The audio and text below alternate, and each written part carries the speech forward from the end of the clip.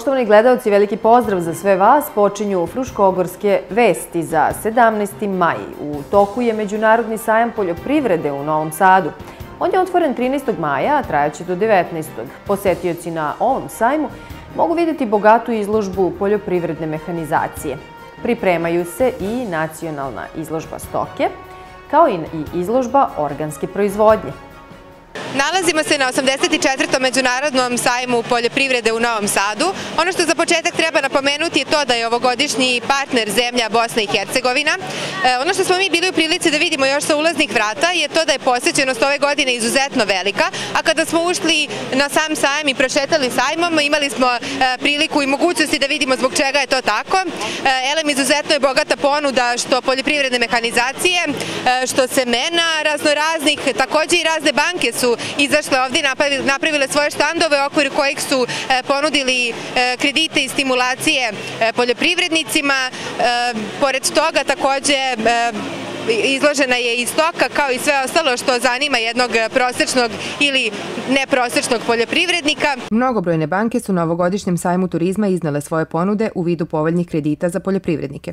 Mi smo pitali člana izvršnog odbora NLB banke šta je ono što je posebno povoljno u vezi njihove ponude i šta je ono što on ističe kao adut njihove banke. NLB banka pre svega poljoprivrednim proizvođačima nudi jednu otvorenost i odlazak na polje. Naš slogan i način rada jeste NLB banka na polju. To znači da mi skoro 30 ljudi svakoga dana izlazi kod svojih klijenata, radi sa njima, živi njihove probleme i pokušava da nađe adekvatna rešenja. To konkretno znači da ti ljudi su pre svega potekli upravo iz poljoprivrednih domaćinstava i najbolje mogu da razumeju i sve probleme i sve želje koje može da ima poljoprivreda. Vođeni parolom, našu zemlju nismo nasledili od svojih roditelja, već smo je pozajmili od svoje dece, NLB banka se trudi da izađe u susret raznolikim potrebama koje jedan poljoprivredni proizvođač ima, a poznata i po podršci koju daje organskim proizvođačima. NLB banka je relativno nova na tržištu banaka koje se bave agrarnim segmentom i kao takva već beleži izuzetno interesovanje za svoju ponudu kao i velik broj zadovoljnih klijenata. Mi ove godine e, sa ponosom mogu da kažem imamo odličnu ponudu.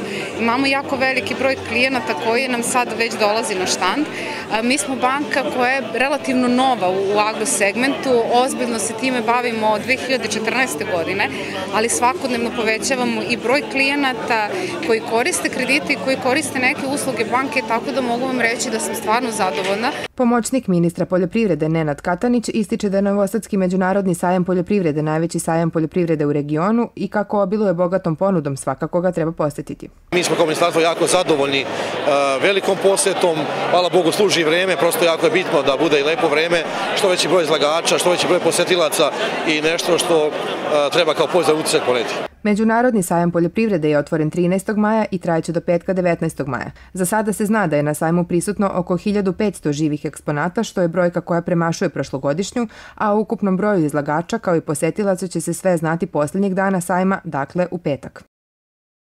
Iz policijske uprave u Sremskoj Mitrovici obaveštavaju građane da zbog predstojeće letnje turističke sezone Oni kojima je potrebna nova putna isprava blagovremeno pribave potrebna dokumenta i predaju ih nadležnoj službi.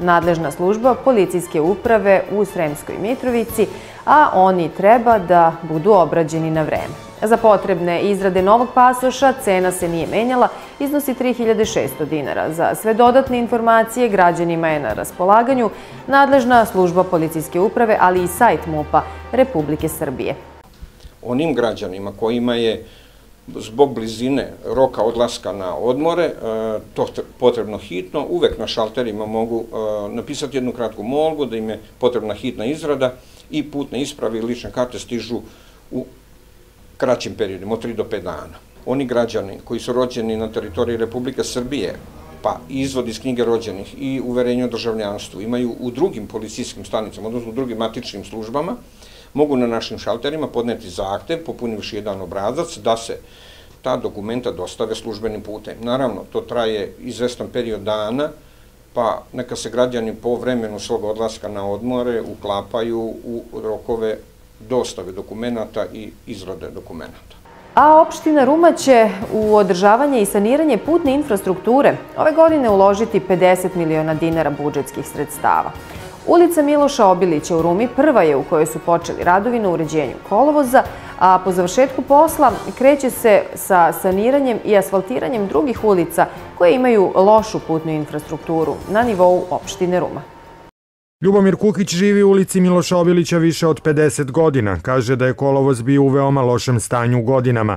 Najviše problema bilo je tokom jesene i zime kada se tom ulicom bukvalno nije moglo proći. Početak asfaltiranja dočekao je sa velikim olakšanjem.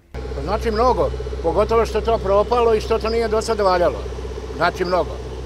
A pogotovo tu ima ova dvoje dece sa invalidskim kolicima koji nisu mogli izaći na ulicu da ovaj, idu zato što je bilo stvarno u lošom stanju. Svi koji su izvodili te radove, načinjali su taj put i to se počelo propadati. To je neminovno da tako ide. Samo, eh, i sad je ovo urađeno. Dosta su svi obećali, a slabo su radili, a ovo sad obećano i urađeno, svaka čast. Radove je juče obišao i predsednik opštine Ruma, koji se nedavno uverio u veoma loše stanje puta u toj Rumskoj ulici. Vidim da su ovi ljudi ovde zadovoljni, oni su predno dve nedelje, rekao bih, došli stvarno da, da, da intervenišu u gradsku kuću, da kažu da je ulica u lošem stanju. Ja sam obećao da ću i ja, pored naše službi koje, koje idu na teren, doći da pogledam s obzirom da, da, da prolazim ovde svakodnevno. Uverili smo se svi da je ulica zrela za, za rekonstrukciju i evo danas, danas će radovi biti na sanaciji ove ulice završeni.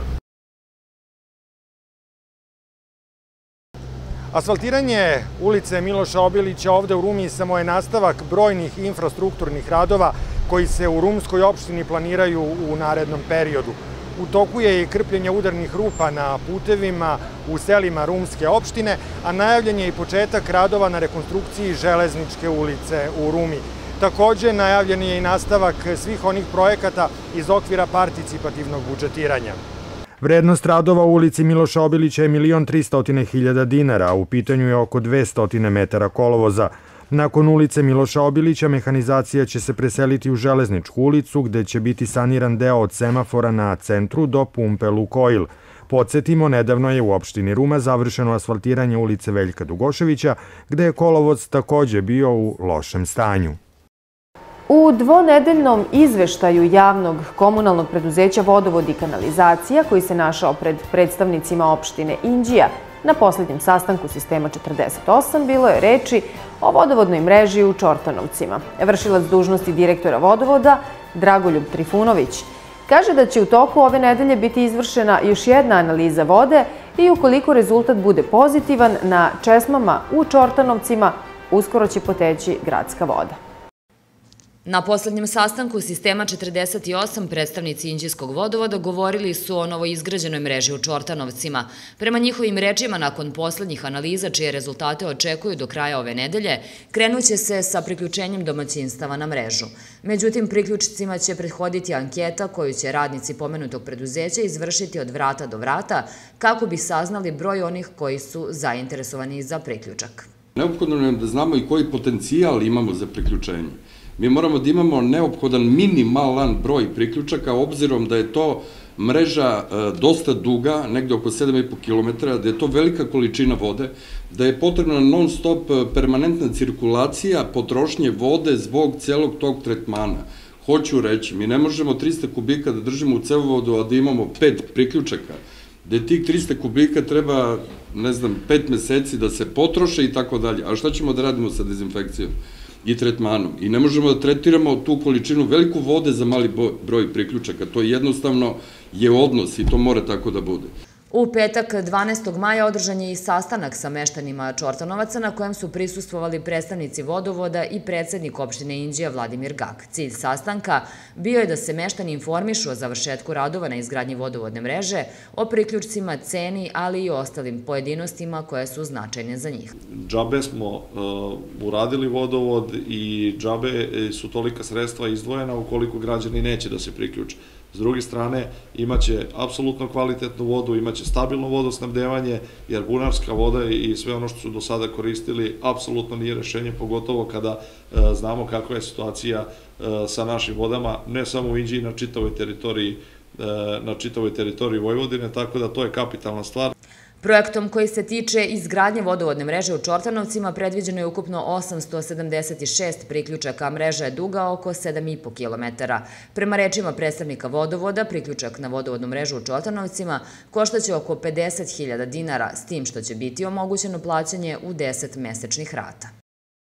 U osnovnoj školi Zmaj Jova Jovanović u Rumi đaci su danas odlučivali o jednoj od mogućih opcija u vezi sa svojom budućom profesijom – priliku da sagledaju i eventualno odluče da li će ikada obući policijsku uniformu, pružilo im je rukovodstvo škole u saradnji sa MUP-om. Osnovna škola Zmaj Jova Jovanović otvara vrata svim ljudima kao faktorima koji mogu pomoći učenicima da savladaju svoje eventualne profesionalne dileme, Pod tim se podrazumeva organizovano predavanje stručnih lica, u ovom slučaju predstavnika Ministarstva unutrašnjih poslova, koji su predstavili deci ciljeve svoje službe. Predstavit ćemo znači šta je to zadatak policije, e, kako to policija radi u lokalnoj zajednici, e, šta su policijske patrole, dežurna služba koja postoji znači u policijskoj stanici 24 sata, dežurni policajac pored telefona 192 na koji se znači može svako obratiti za pomoć. Te povratne informacije dobijamo neposredno na terenu od strane samih učenika gde nas oni obaveštavaju da li su upisali, da li nisu, da li su primljeni, a na kraju i da li su sa tim zadovoljni i da li su se ostvarili u tom cilju i da li su potvrdili e, naše izjave ovde koji smo im davali pre tog samog upisa. Škola Zmaj Jova Jovanović je jedna od onih koje upućuju direktne pozive državnim institucijama i organima koji bi bili poželjni u smislu prezentacije profesije još uvek neopredeljenoj deci. Činjenica je da to ne čine baš sve škole, pogotovo ne tako često kao Zmajeva. U okviru Zmajovine škole se svake godine održava znači profesionalna orijentacija, to vodi psihološko-pedagoška služba u saradnji sa raznim starešinama i svim zaposlenima u školi i tu nam veliku pomoć predstavljaju roditelji i naravno institucije u našem gradu koje e, nam izlaze u susret i dolaze kod nas u školu da predstave svoju profesiju. Uporedo sa radionicama realizujemo i realne susrete. Naši učenici su bili u prilici da posete predškolsku ustanovu Poletarac i e, bili su upućeni u Dom zdravlja gde su imali prilike da spoznaju e, ova dva zanimanja. Uporedo sa realnim susretima pozivali smo i roditelje eksperte koji su dolazili u našu školu i predstavljali takođe svoje zanimanja. Tako su osnovci ove škole mogli čuti prave veterinare, pravnike i druge koji najbolje mogu preneti iskustva iz oblasti svog posla. Možda su đaci, slušajući na licu mesta stručnjake, dobili ideju koja se uklapa u njihove afinitete. Možda bar jedan đak godišnje iz akcije slične ovoj donese odluku, pa je i to veliki uspeh.